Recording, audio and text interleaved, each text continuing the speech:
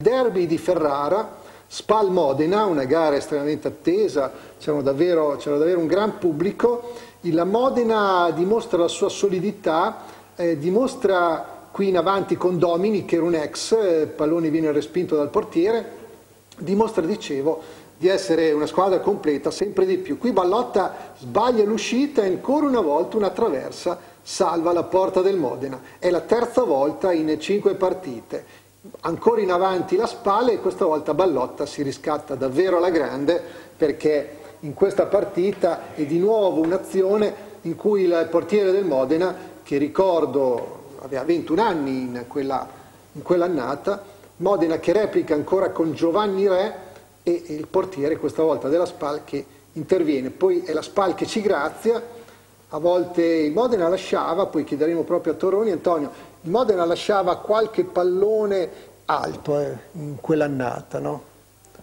Sì, beh... Ehm, Eppure eravate